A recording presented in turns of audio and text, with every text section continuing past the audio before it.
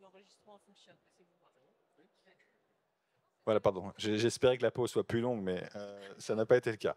Euh, bien, donc pour, reprendre, euh, donc notre sujet de ce matin, c'est la question de la prévention, et avec, je pense, au fond, un état des lieux qu'on partage euh, tous de manière assez, assez claire. D'une part, euh, le sujet a évidemment été remis à, l'agenda politique depuis maintenant deux ans, euh, avec même l'adjonction du terme de prévention à l'intitulé ministériel du ministre de la Santé, ce qui était un geste, un geste important, avec beaucoup d'échanges, beaucoup d'expressions de, sur le sujet une conviction partagée que quelque chose comme un tournant préventif serait une nécessité. Et je pense qu'on voit tous bien pourquoi et on pourra y revenir. Et en même temps, euh, je pense que collectivement, on, doit pouvoir partager le sentiment que malgré cette priorité politique, malgré euh, cette conviction commune des acteurs, euh, le sujet peine à, avancer. au point parfois de donner le sentiment que la prévention est un peu l'arlésienne des politiques de santé et qu'on en parle certes beaucoup, mais qu'on a beaucoup de mal à passer aux actes.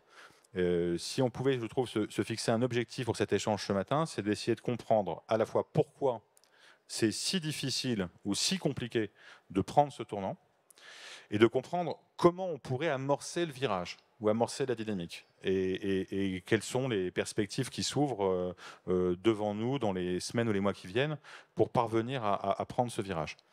Euh, et donc pour commencer à essayer de répondre à ces deux questions, si vous les acceptez, euh, je proposerais volontiers, Florie, que tu nous dises, euh, vu de l'AIS, comment ces questions-là se présentent. Oui, bonjour. merci Nicolas, bonjour à tous. Merci pour, votre invitation. Donc effectivement, la, prévention aujourd'hui est un vrai sujet d'actualité, mais ce n'est pas un sujet nouveau. On est sur de la prévention depuis des dizaines d'années, mais je pense que ce qui différencie aujourd'hui la, perception aussi de la prévention que l'on a, c'est qu'il y a une dizaine d'années, la prévention, c'était vraiment l'objectif de l'amélioration de l'état de santé de la population. Alors, Bien sûr, aujourd'hui, euh, cet objectif-là reste le principal, mais je pense qu'on a tous conscience que la prévention aujourd'hui euh, peut permettre finalement euh, à notre système de santé de résister face à ce qu'on voit arriver, donc l'augmentation vieillissement de la population, l'augmentation des, maladies chroniques, euh, des cancers, euh, de l'obésité. Et donc, on, est encore plus conscient de ce besoin euh, depuis, depuis la, crise, la crise sanitaire.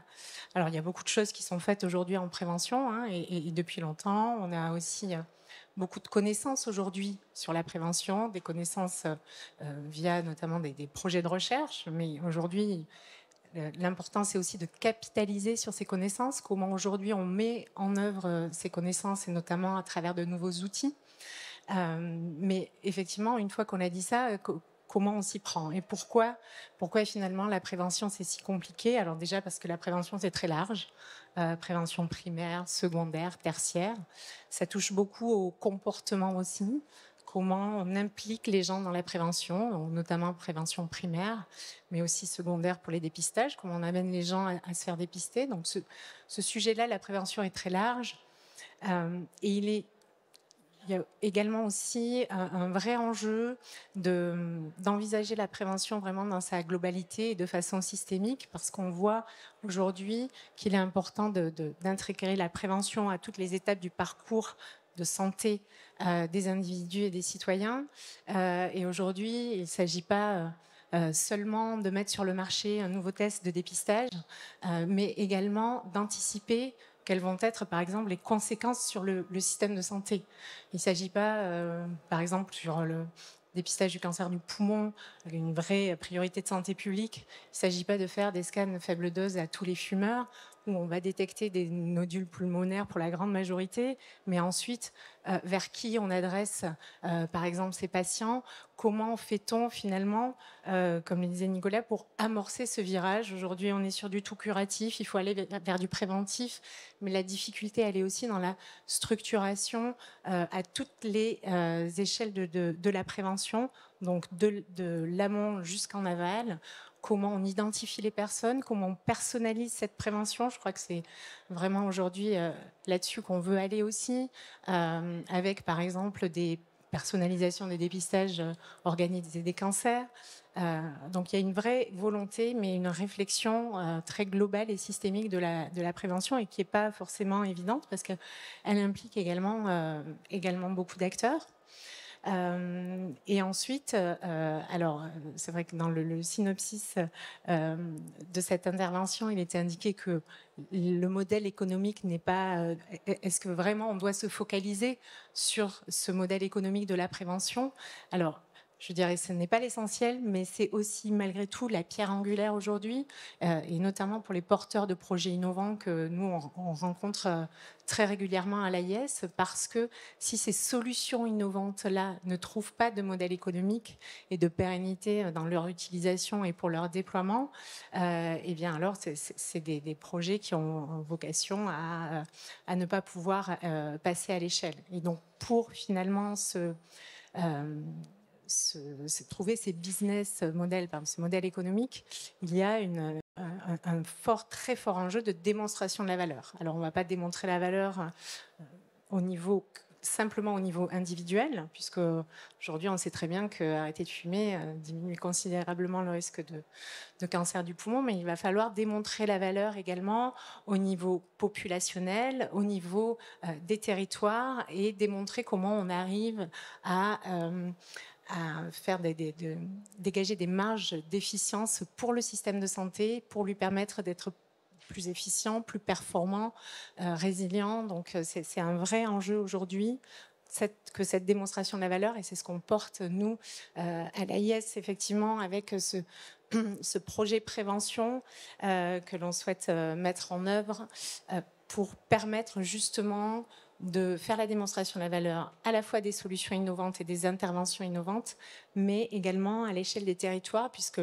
la prévention doit être personnalisée à l'individu, mais elle doit être aussi personnalisée à la population et aux régions. On voit bien qu'on n'a pas euh, du tout les, en, tout cas forcément les mêmes besoins euh, d'une région à une autre, les mêmes priorités de santé. Donc l'idée, c'est vraiment d'arriver à soutenir et structurer des projets en région qui répondent à des besoins de, terrain et aux besoins de, la population euh, à l'échelle d'un territoire. Voilà, bien sûr en, impliquant des, technologies innovantes de santé.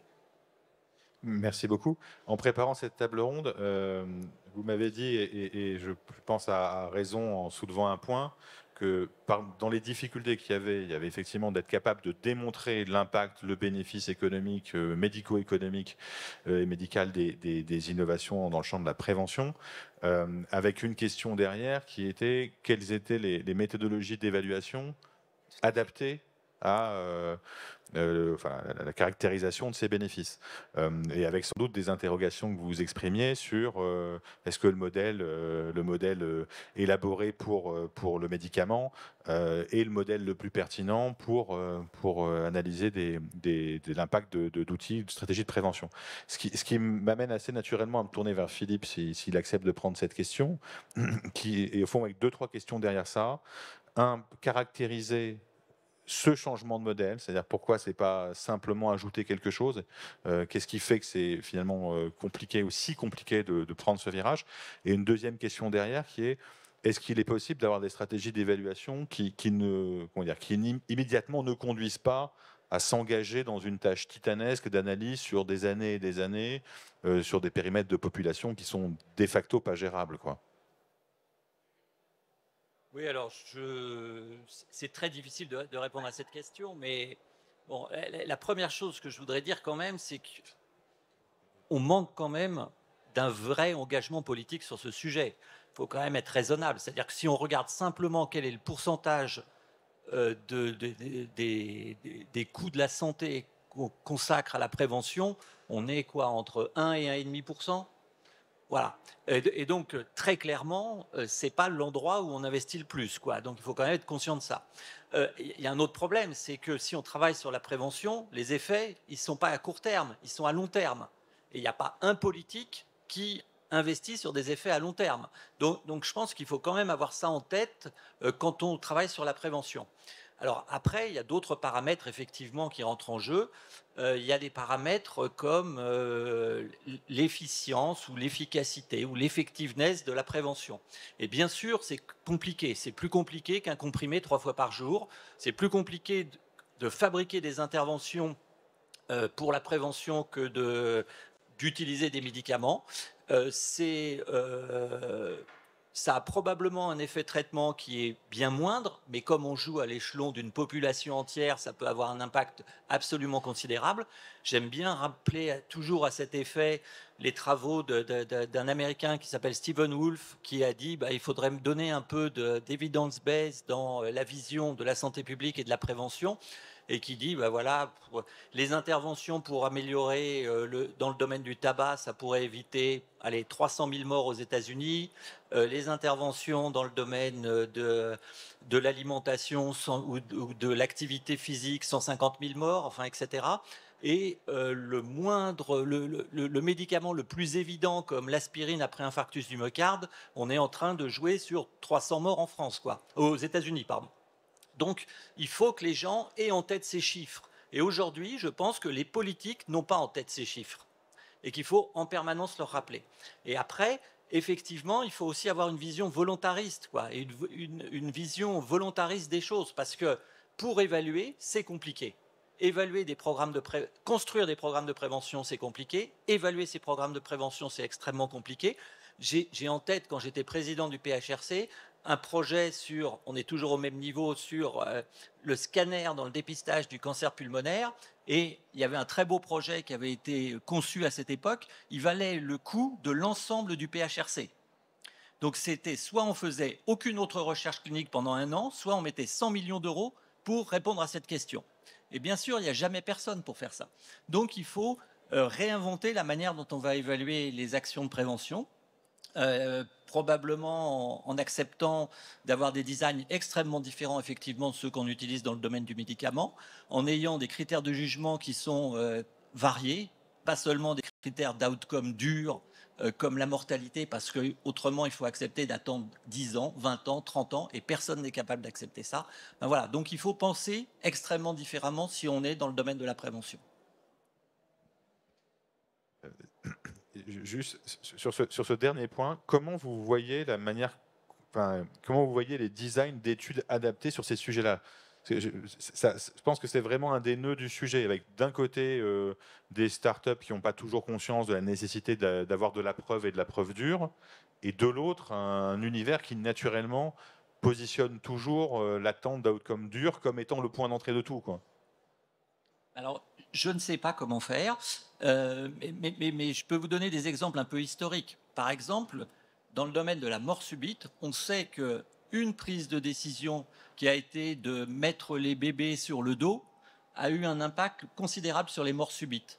Eh bien, ce type d'effet qui est extrêmement important, on est totalement incapable de le détecter dans le cadre d'essais randomisés. Il aurait fallu faire des essais randomisés avec 300 euh, 000 personnes issues dans l'essai, etc., etc.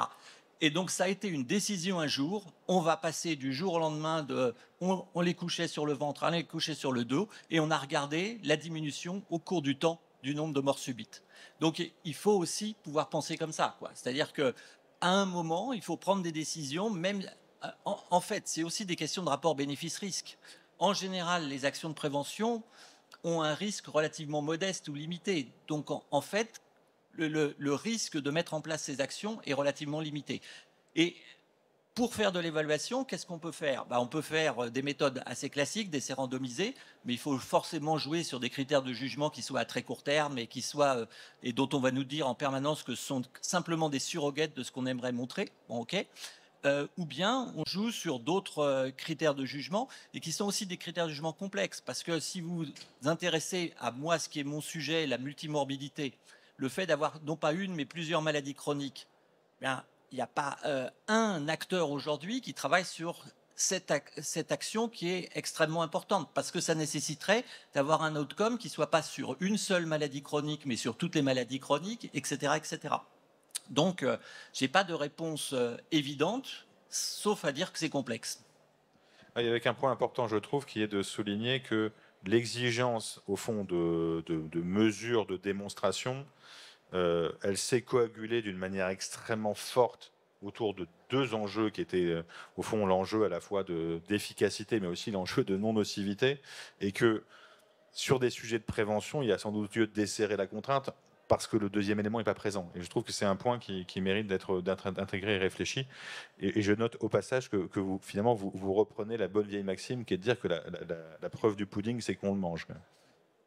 Non, et, l'autre chose qui est, aussi importante dans, ce domaine, c'est qu'on a beaucoup évolué dans le domaine du médicament, où avant, on essayait de faire toute l'évaluation avant de mettre sur le marché le médicament, et maintenant, depuis 5-6 ans, 10 ans, depuis un certain nombre de scandales dans le domaine du médicament, on est bien conscient qu'en fait, il faut évaluer les, traitements tout au long de leur vie et pas seulement avant la mise sur le marché. Et je pense qu'il en sera exactement de la même façon pour les actions de prévention.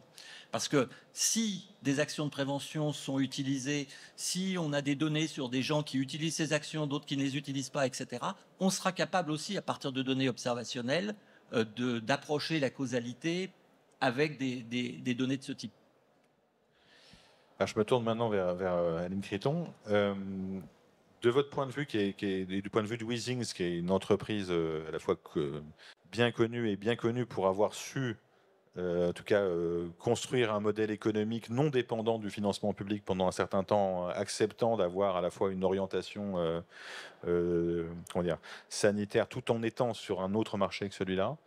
Comment vous voyez ces sujets-là pour, pour, vous euh, est-ce que ces logiques de prévention sont l'un des axes de développement possible pour l'entreprise euh, Est-ce que pour vous, c'est facile d'envisager ce, virage-là Et quelles sont vos, orientations et vos, besoins à date euh, bonjour. Tout d'abord, merci de m'avoir invité à ce panel. Alors, pour Weezing, il y a vraiment deux axes importants aujourd'hui, donc la prévention primaire et la prévention tertiaire.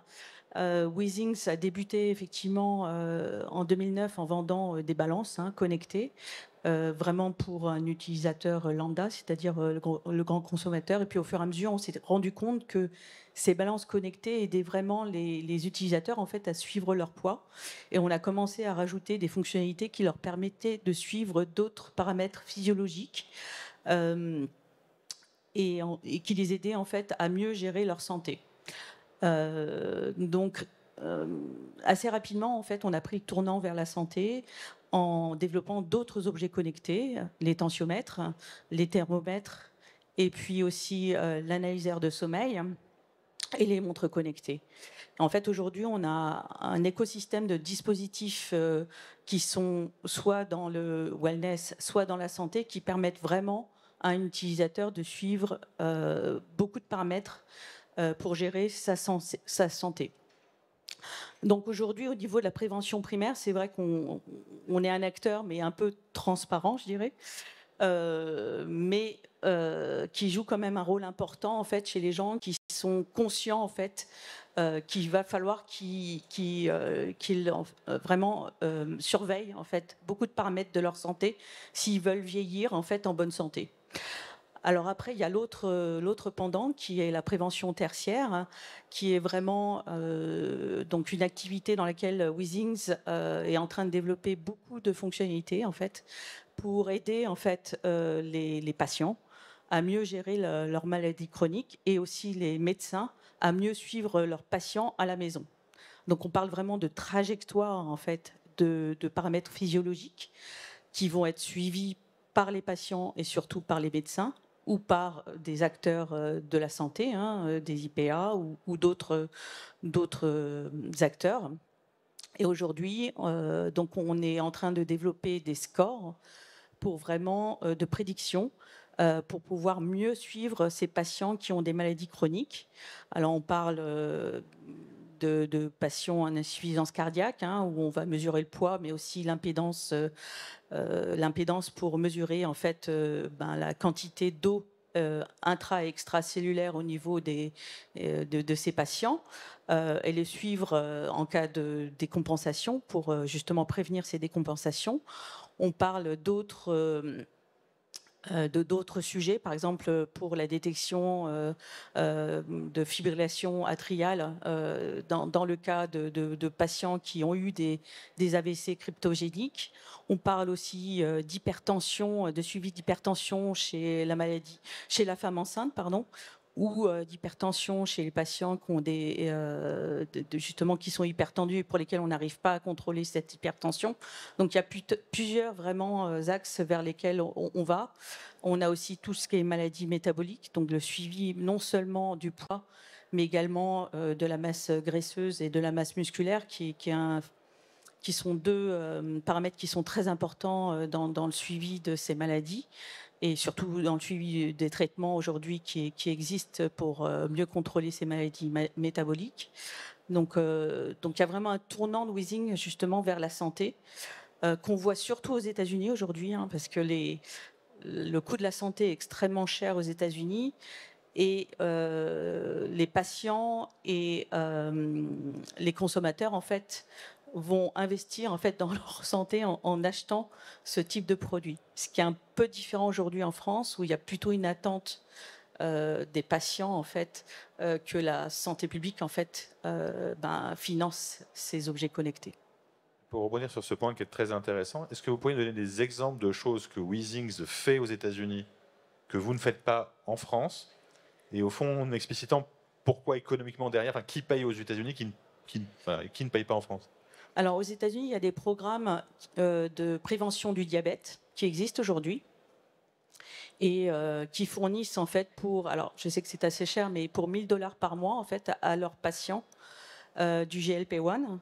Donc ce nouveau médicament qui permet de, de, mieux contrôler en fait tout ce qui est maladie métabolique et qui fournissent également des balances connectées pour mieux suivre en fait le poids de ces patients et aussi leur euh, masse euh, musculaire et leur masse graisseuse.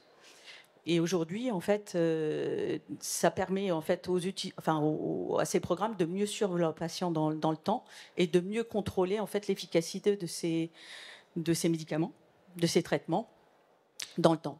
Et effectivement, de temps en temps, de, changer peut-être les traitements ou d'aller voir euh, le patient pour le motiver, pour faire plus de marches, pour euh, également mieux manger.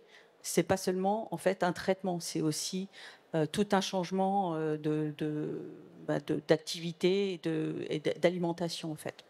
On a un autre programme aussi avec des hôpitaux pour l'insuffisance cardiaque et on a également euh, au sein de Withings euh, un RPM, donc un Remote Patient Monitoring, donc un logiciel qui permet de monitorer les patients euh, une fois qu'on leur a envoyé une balance et un tensiomètre.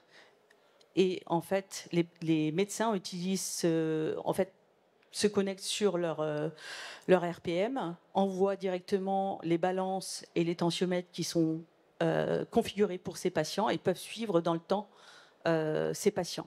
Et en fait, il y a récemment, au mois de février, euh, un hôpital qui a présenté en fait cette solution dans un congrès et qui disait qu'ils économisaient en fait 1300 dollars par mois pour les patients en insuffisance cardiaque. Et qui opère ces programmes? Donc, Le dernier exemple, c'est les médecins qui prescrivent et font envoyer une box à domicile. Le premier programme, c'est qui? C'est de... Alors, différents acteurs. Ça peut être des, commercial payers, donc des mutuelles, hein, qui vont avoir ces programmes et qui vont payer pour ces programmes. Ça peut être euh, effectivement des programmes euh, euh, privés qui vont être financés par les mutuelles de, ces patients. Et puis ça peut être carrément des hôpitaux en fait qui vont mettre ça en place. en fait, nous on a vraiment un panel de, clients en fait qui qui utilisent nos dispositifs dans différents dans différents cadres dans différents cadres. Merci beaucoup. Dans les sujets que vous avez identifiés et que vous avez évoqués là, qui, je trouve, sont à l'arrière-plan de tout ce qu'on se dit depuis le début de cet échange, euh, il y a cette question cruciale de savoir comment on change les comportements individuels et comment on rend objet d'intervention collective des, des, comportements qui sont finalement très intimes ou très quotidiens. Euh, c'est un des sujets sur lesquels, euh, de votre côté, Hélène, tu travailles avec toute l'équipe d'Agora Health. Est-ce que tu peux nous en dire un peu plus, d'autant plus que sous ton contrôle, vous avez aussi beaucoup d'échanges avec des, euh, des startups ou des acteurs qui proposent des, outils digitaux dans d'autres pays. donc dans des configurations où ils sont déjà déployés. Est-ce que tu peux nous dire aussi en termes de comparaison entre la France et ces pays que tu vois à travers cette lorgnette, ce que tu vois comme différence et comme point commun? Oui, donc merci beaucoup d'avoir permis de parler sur cette table ronde. Pour nous, il y a vraiment un tournant et je suis assez optimiste sur la prévention en 2024 et dans les années à venir. Et ce tournant, il, va venir avec les thérapies numériques. Alors pourquoi je dis ça? Euh, On a parlé, euh, Florie l'a mentionné, la, prévention, c'est quand même beaucoup des changements comportementaux. Alors ça peut être la détection précoce, ça peut être la vaccination, mais c'est aussi beaucoup, euh, c'est les dispositions qui sont prises pour éviter l'apparition ou l'aggravation d'une maladie. Et ces dispositions, dans la plupart des médecines et dans la plupart des pays, c'est quand même souvent changer les habitudes de vie, c'est bien manger, bien bouger, bien dormir, bien respirer. Or, changer ses habitudes de vie, on le sait, c'est quand même pas quelque chose qu'on fait euh, du jour au lendemain. Euh, ça demande un effort euh, quotidien, continu. Ça demande de comprendre. Donc, il y a toute une brique d'éducation, comprendre les impacts de ces changements comportementaux. Pardon. ça demande de mesurer. Quand on essaie de changer ses habitudes de vie, bah, c'est bien d'avoir du feedback, de mesurer, de voir les évolutions. Et puis, ça demande la répétition quotidienne de petits exercices. Or, aujourd'hui, comment on essaie de faire ça? On le fait avec euh, une consultation, 20-40 minutes des professionnels de santé qui vous disent quand même ce serait bien de changer votre habitude, euh, vos habitudes alimentaires, de bouger, euh, et de façon pas forcément extrêmement régulière. Euh, et là où je suis très optimiste, c'est que depuis le 1er juillet 2023, la, Haute Autorité de Santé en France a décidé de prendre en charge les, thérapies numériques. Et quand on parle de thérapie numérique, on parle de dispositifs médicaux euh, numériques qui sont des, dispositifs certifiés, donc revus par des organismes notifiés, donc euh, développés quand même dans, dans un cadre assez réglementé. Et on parle de thérapies qui ont prouvé des impacts cliniques euh, dans des études randomisées contrôlées. Et aujourd'hui, des thérapies numériques, comme on le voit euh, avec, euh, effectivement avec Agora, on, a pu regarder un peu ce qui se passait dans ce champ-là. il en existe dans des champs cliniques assez divers, comme l'insomnie, l'anxiété, l'obésité, dans les addictions, dans la gestion de la douleur, endométriose, lombalgie. Et ces thérapies, elles ont toutes les mêmes modes de fonctionnement. En tout cas, pour la plupart, c'est des programmes autonomes de 12 semaines, basés sur les thérapies cognitivo-comportementales. Donc, faire prendre conscience au patient euh, de ses biais cognitifs et lui donner des outils pour changer ses comportements. Et donc, la plupart, c'est des programmes qui vont, en réalité, adapter à la pathologie, expliquer au patient comment euh, bien manger, bien dormir, bien bouger. Euh, et avec des petits exercices euh, et, des mécaniques aussi inspirées du digital. Et on le sait, la puissance du digital, aujourd'hui, euh, la gamification, la personnalisation, euh, les nudges, les notifications, ça permet quand même de, créer une vraie rétention du patient sur ces applis. Et c'est indispensable, encore une fois, si on veut changer les comportements. Donc ce qui est très intéressant pour, pour nous là, c'est qu'il y a un modèle de prise en charge qui est pécan, donc la prise en charge anticipée des dispositifs numériques, qui, en réalité, sous le couvert d'un impact curatif qui est court terme, puisque pour être pris en charge, il faut montrer dans des méthodologies d'évaluation clinique assez court terme, en réalité, euh, donc un programme de trois mois, on montre qu'au bout de trois mois, on a un impact curatif. Mais en réalité, la plupart de ces programmes mettent en place des changements comportementaux qui euh, vont probablement avoir un impact préventif moyen-long terme sur les multi morbidités euh, que mentionnait le professeur Ravo, parce qu'un patient qui dort mieux, qui bouge, qui mange mieux, bah, probablement qu'il aura moins de risques de développer des maladies cardiovasculaires, euh, des syndromes dépressifs ou de l'obésité à, moyen long terme. Donc on est assez euh, optimiste sur le fait que pour une fois, il y a peut-être un modèle économique pour les startups du digital qui vont aller chercher euh, des programmes comme ça de, 12 semaines et, et un impact curatif et qui aura un impact moyen long terme sur la prévention. Le vrai enjeu, c'est comment on s'assure que ces outils-là vont être déployés auprès des professionnels de santé et des patients. Et c'est ce qu'on fait aujourd'hui avec euh, Aptera, une des startups de, Agora Health, qui est une plateforme de distribution des thérapies numériques qui permet aux médecins de s'informer, de pouvoir prescrire et de pouvoir déployer euh, auprès des patients des, thérapies numériques. Alors pour revenir sur le point de l'Allemagne, on a, un, très bel exemple parce que ça fait trois ans qu'en Allemagne, ces applications-là sont prises en charge.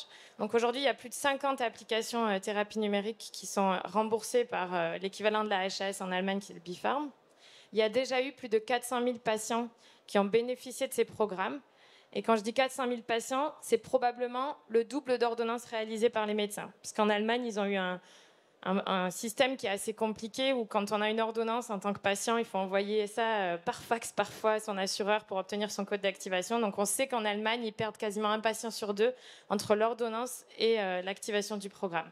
Donc on a un exemple transfrontalier où on voit qu'il y a presque 800 000 ordonnances qui ont été faites par les professionnels de santé. Donc oui, les médecins s'emparent de ces thérapies numériques et oui, euh, ils trouvent ça pertinent pour les populations cibles de, proposer ce type d'outils en complément de leur intervention. Il y a euh, quasiment 150 millions qui a été dépensé déjà par le système de santé allemand sur ces sujets-là. donc ça, c'est les chiffres de DIGA en Allemagne.